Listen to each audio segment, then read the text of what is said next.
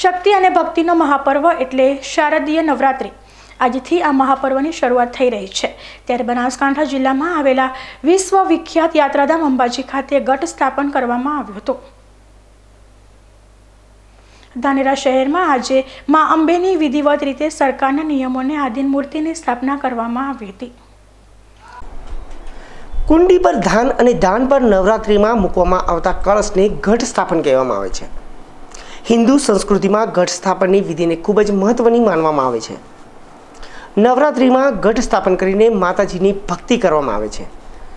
ત્યારે અરવલ્લીની ગિરિમાળાઓમાં બિરાજમાન નવદુર્ગા જગતજનની માં અંબાના ધામ એવા અંબાજી ખાતે આવેલા સુપ્રસિદ્ધ મંદિર ખાતે ઘટ સ્થાપનની આજે વિધિ કરવામાં આવી હતી. મંદિરના ભટજી મહારાજના પવિત્ર પાણી અને માટીનું લીપણ કરી તેની પર કળશ મૂકીને ઝવેરા વાવવામાં આવ્યા હતા.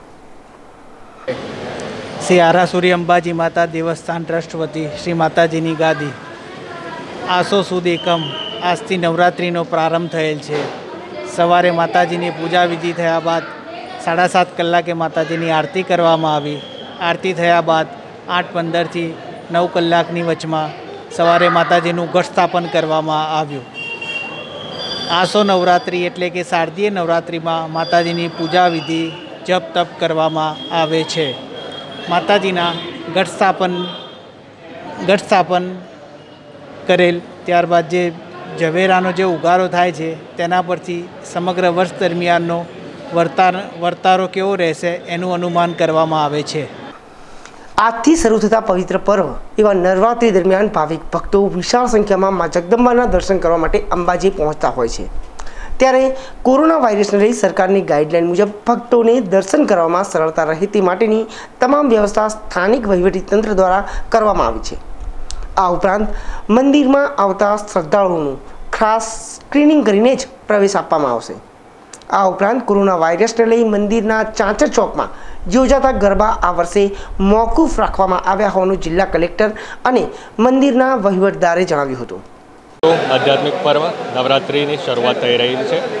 અંબાજી મંદિર ટ્રસ્ટ તરફથી આજરોજ ઘટ સ્થાપનની વિધિ કરવામાં આવેલી છે. મંદિર દર્શન માટે દર્શનાર્થીઓ માટે ખુલ્લું રાખવામાં આવેલું છે. પરંતુ આપણી જે ગરબાની પરંપરા છે, ચાલુ વર્ષે કોરોનાના કારણે પરંપરા બંધ રાખવામાં આવેલી છે. મંદિર ટ્રસ્ટ તરફથી જે પણ શ્રદ્ધાળુઓ આવે છે, એમની પૂરતી ચકાસણી કરવામાં આવે છે. કોરોના રિલેટેડ પણ અને સિક્યુરિટી રિલેટેડ પણ આ બંને પ્રકારની ચકાસણી મંદિર ટ્રસ્ટ તરફથી કરવામાં આવી રહેલ છે. આમ છતાં પણ તમામ શ્રદ્ધાળુઓને માસ્ક પહેરવું સોશિયલ ડિસ્ટન્સિંગનું પાલન કરવા માટે અપીલ કરું છું. સાથે સાથે મંદિર ટ્રસ્ટ તરફથી લાઈવ દર્શનની પણ સુવિધા ઉપલબ્ધ કરાવવામાં આવી છે નવરાત્રિ દરમિયાન. જેથી જે ભક્તો અહીંયા નથી આવી રહ્યા, એ ભક્તો ઘરે બેસી પણ એ સ્ટ્રીમિંગના માધ્યમથી માતાજીના દર્શન કરી શકે છે. મંદિર ટ્રસ્ટ તરફથી નવરાત્રિના આ શુભ અવસરને દાને લઈ ગુજરાતનું યુવાધન વ્યસન મુક્તિથી દૂર રહે એ માટે વ્યસન મુક્તિના સંકલ્પનો પણ એક નવીન પ્રયાસ કરવામાં આવેલો છે. જય અંબે. આજથી માતાજીના નવરાત્રિનો પ્રારંભ થઈ ગયો છે. દર વર્ષની જેમ અહીંયા પરંપરાગત રીતે ચાચા ચોકમાં ગરબા થતા હતા, પણ કોરોના વાયરસના કારણે અને ગુજરાત સરકારની ગાઈડલાઇન મુજબ ચાલુ સાલે અમે ગરબાનું આયોજન મોકૂફ રાખેલું છે. પણ મંદિર દર્શનાર્થીઓ માટે ખુલ્લું રાખેલું છે.